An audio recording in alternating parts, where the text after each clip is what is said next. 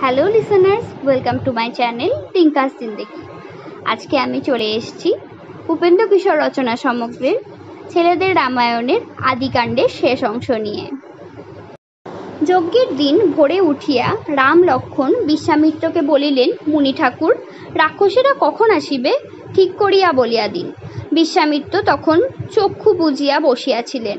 রাম লক্ষণের কথাই কোনো উত্তর দিলেন না। অন্য মুনিরা বলিলেন, রাজপুত্র, উনি মৌনে বসিয়া আছেন।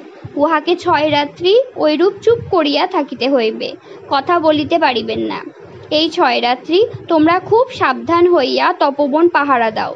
রাম লক্ষণ তখনই অস্ত্রশস্ত্র লইয়া পাহারা দিতে আরম্ভ করিলেন। দিন নাই, রাত নাই, চোখে ঘুম নাই, খালি কখন রাক্ষস আসে সেদিকেই তাহাদের মন। এই রূপে পাঁচ দিন চলিয়া গেল। ছয় দিনের দিন তাহারা আরও বেশি করিয়া পাহারা দিতে লাগিলেন। এমন সময়ে দক করিয়া যজ্ঞের বেদি জ্বলিয়া উঠিল। তাহার সঙ্গে সঙ্গে আকাশে ভয়ানক শব্দ আর যজ্ঞের জায়গায় রক্তবৃষ্টি।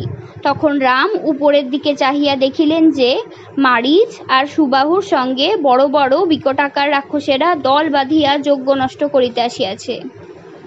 তাহা দেখিয়া রাম মারিচের বুকে মানবাস্ত্র নামক বাণ ছুড়িয়া মারিলেন। বাণের চোটে সে বেচারা অজ্ঞান হইয়া ঘুরিতে ঘুরিতে একেবারে একশত যোজন দূরে সমুদ্রে গিয়া পড়িল। তারপর রাম আগ্নেয়াস্ত্র ছুড়িল, তাহার ঘা খাইয়া সুবাহু সেইখানেই পড়িয়া মরিল। বাকি রাক্ষসগুলিকে মারিতে খালি বায়ব্য অস্ত্র ছাড়া আর কিছুর দরকার লাগে নাই। তখন মুনিগণের যে কি আনন্দ হইল, তাহা কি বলিব? অনেক পরিশ্রমের পর সে রাত্রিতে লতাপাতার বিছানায় রাম, লক্ষণ বড়ই সুখে ঘুমাইলেন। পরদিন সকালে মুনিরা বলিলেন, চলো বাবা, মিথিলায় যাই। সেখানকার রাজা জনক যজ্ঞ করিবেন, তাহা দেখিতে হইবে। আর সেখানে একখানা ভয়ঙ্কর ধনুক আছে। তাহাতে এত জোর যে দেবতা, গান্ধর্ব, রাক্ষস মানুষ কেহই তাহাতে গুণ দিতে পারে নাই। সেই ধনুকখানাও দেখিতে হইবে। এই বলিয়া মুনিরা মিথিলায় যাইবার জন্য জিনিসপত্র বাঁধিয়া লইলেন। জিনিস নিতান্ত কম ছিল না, এক শতখানা গাড়ি তাহাতেই বোঝাই হইয়া গেল। সবুজ শস্যের ক্ষেতের মধ্য দিয়া তাহাদের চলিবার পথ। সে পথে যাইতে রাম লক্ষণের বড়ই ভালো লাগিতেছিল। সেদিনকার রাত্রিতে তাহারা সোন নদের ধারে আসিয়া রহিলেন। তাহার পরের রাত্রি গঙ্গার ধারে তাহার পরের রাত্রি বিশালা নগর, নগরে কাটিল। চারিদিনের দিন সকালবেলায় তাহারা দূর হইতে মিথিলা সুন্দর রাজপুরী দেখিতে পাইলেন। ওই স্থানের নিকটেই একটি অতি সুন্দর আর খুব পুরাতন আশ্রম ছিল। তাহা দেখিয়া রাম বিশ্বামিত্রকে জিজ্ঞাসা করিলেন, গুরুদেব, এটি কাহার তপবন? এখানে কেন লোকজন নাই? বিশ্বামিত্র বলিলেন, বাছা, এটি গৌতম মুনির আশ্রম। গৌতমের স্ত্রী অহল্যা একবার একটা নিতান্ত অপরাধের কাজ করাতে গৌতম তাহাকে এই বলিয়া শাপ দিয়াছিলেন, তুই এখানে ছায়ের উপর পড়িয়া থাক, তোকে কেহ দেখিতে পাইবে না। বাতাস ভিন্ন, তুই আর কিছু খাইতে পাইবি না। এইরূপ তোর অনেক বৎসর কাটিবে। তারপর যখন দশরথের পুত্র রাম এইখানে আসিবেন, তখন তাহার পূজা করিস। তাহা হইলে আবার তুই ভালো হইবি, আর আমিও ফিরিয়া আসিব।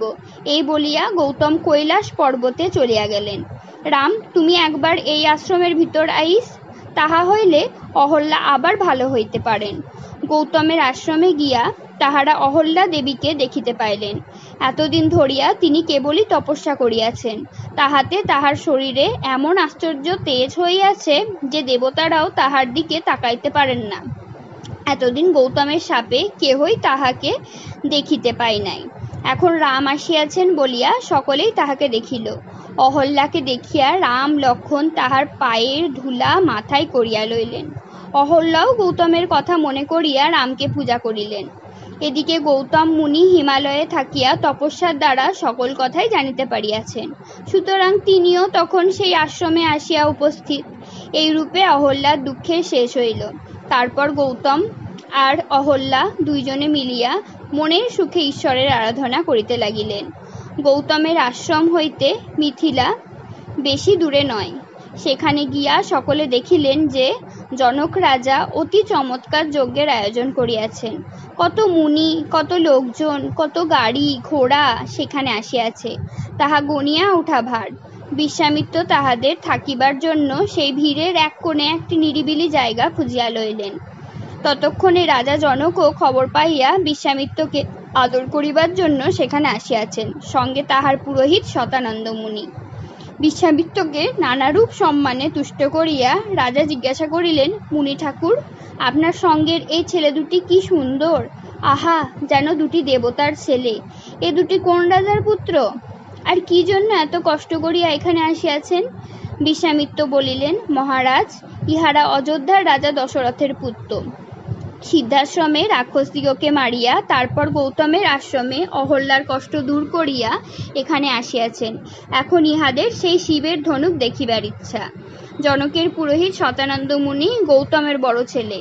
তিনি যখন শুনিলেন যে তাহার মাতা আবার ভালো হইয়াছেন, তখন তাহার মনে কি সুখী হইল। তিনি রামকে কতই স্নেহ দেখাইলেন আর বিশ্বামিত্রের কত প্রশংসা করিলেন, তাহা বলিয়া শেষ করা যায় না। তিনি বুঝিতে পারিয়াছিলেন যে বিশ্বামিত্রই রামকে আনিয়া তাহার মায়ের দুঃখ দূর করিয়াছেন। পরদিন সকালবেলায় বিশ্বামিত্র জনককে বলিলেন, মহারাজ, সে ধনুকখানি রাম লক্ষণ একবার দেখিতে চাহেন। জনক বলিলেন, ধনুকের কথা বলি শুনুন। এই ধনুক আগে ছিল শিবের। শিব একবার দেবতাদের উপর চটিয়া গিয়া এই ধনুক হাতে তাহাদিগকে তাড়া করিয়াছিলেন।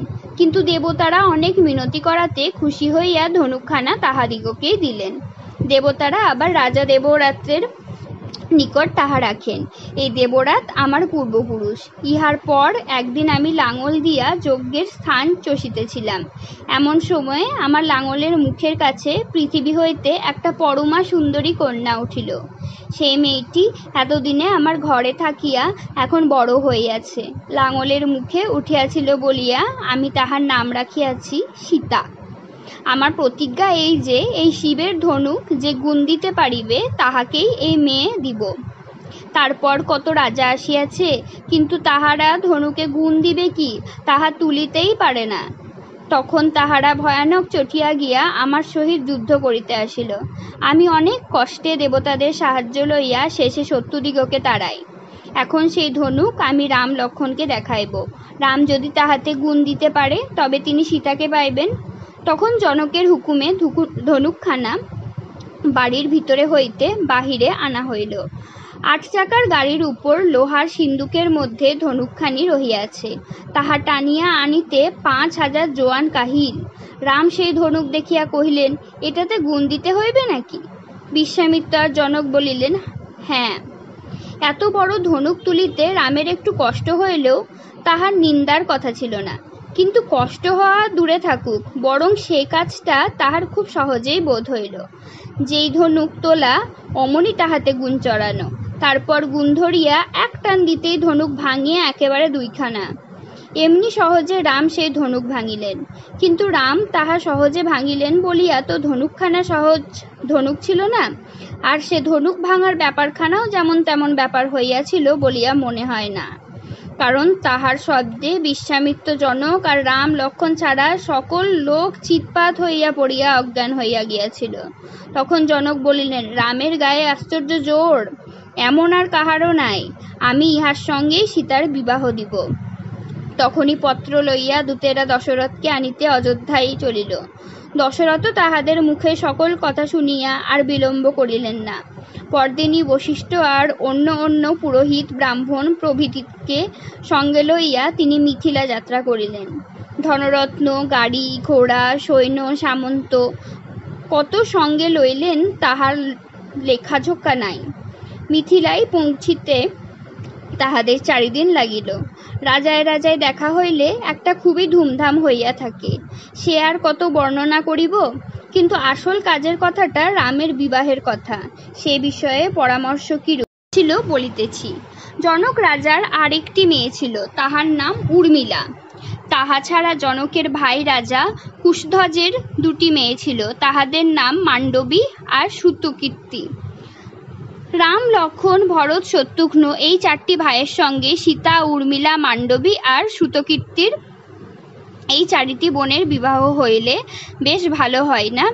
সুতরাং স্থির হইল যে রামের সহিত সীতার, লক্ষণের সহিত উর্মিলার, ভরতের সহিত মান্ডবীর আর শত্রুঘ্নের সহিত সুতকৃত্তির বিবাহ হইবে।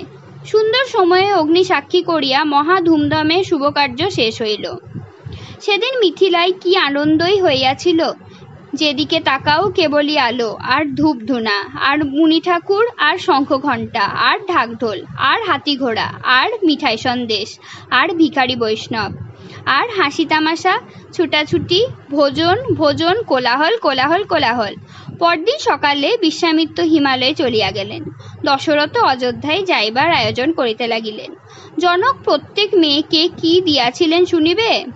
প্রত্যেক মেয়েকে তিনি এক এক লক্ষ গরু দিয়াছিলেন। আর হাতি, ঘোড়া, সিপাহী, রূপা, মণি, মুক্তা, রেশমি কাপড়, কম্বল ইত্যাদি কত যে দিয়াছিলেন, আমি তাহার হিসাব দিতে পারিব না।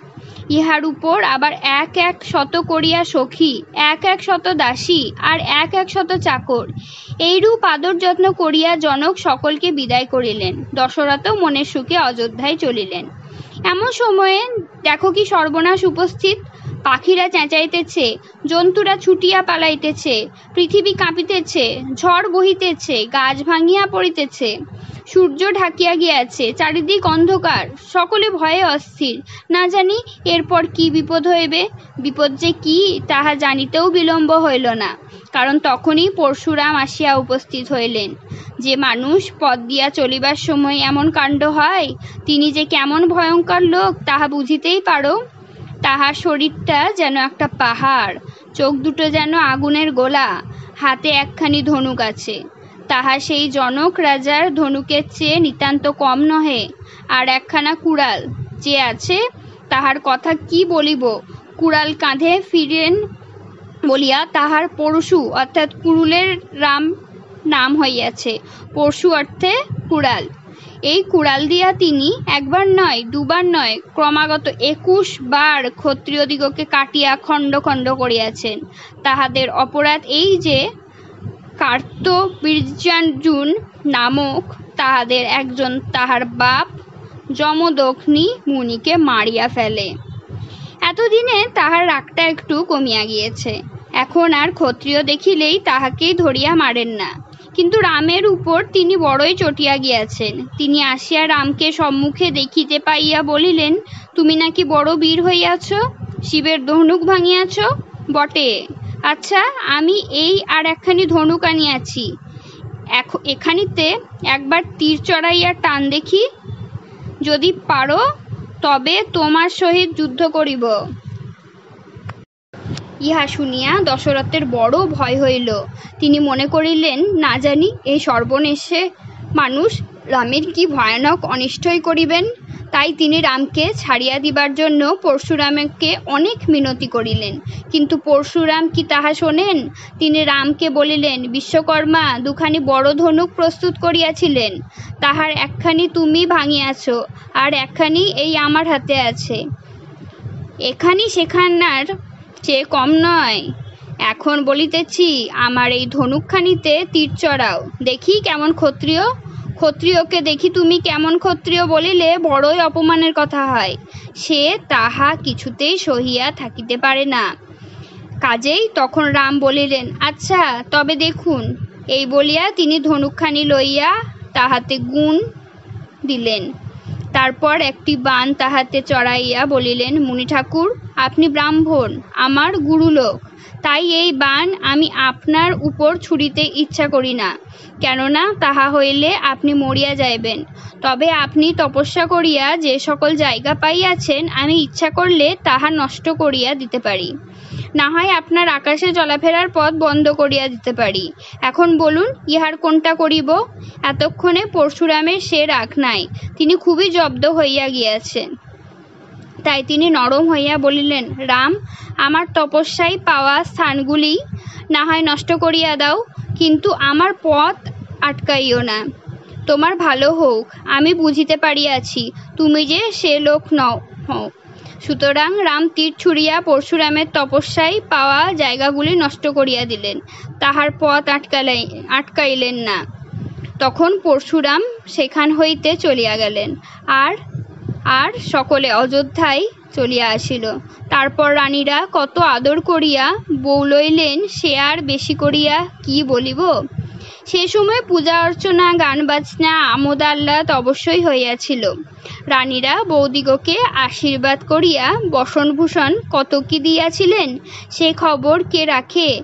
আমি কেবল ইহাই জানি যে, ইহার কিছুতেই পরে ভরত আর শত্রুঘ্ন মামার বাড়ি বেড়াইতে গেলেন। আদিকাণ্ড শেষ হলো। অযোধ্যাকাণ্ড শুরু করব আমি জুলাই মাসের সেকেন্ড জুলাই।